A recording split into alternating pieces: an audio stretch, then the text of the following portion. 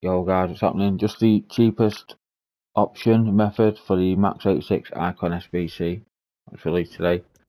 It is about 8pm UK time, so just bear in mind that with the prices. Futbin has this coming in at 190. I reckon, well, I know this method is about 140 if, if you had to buy every single player. So you need 984s for this one and 283s.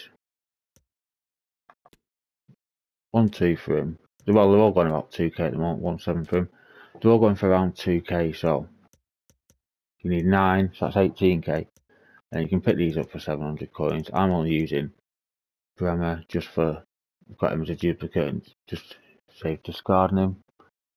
So these are the other 84 options you can use. They're all around 2 grand. So it's going to cost you 20k roughly, either way. And your 86 rated squad. It's the cheapest way to do it is your 84s. If you need four gold 84s, 2k each, that makes 8k. And a discard team of the week, 11k. And then you've got two 86s, which are coming in about 15k each, it's 30k for them too.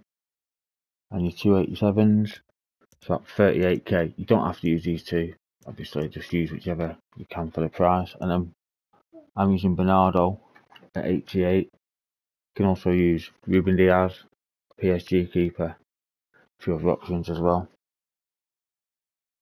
This way in total comes to 118k. So it's 120k for this. A few got other 86 option as well as Martinez, a few others. Cheapest 86 team of the week is Mason Mount. But you might as well just stick an 84 in because discard price, you're talking at least 20 30 for Mount. And then the other discard, lowest priced, 84 team of the weeks. These three. So Futbin has it coming in at 190. This is about 118 and this is 19, but we'll just say 120 and 20.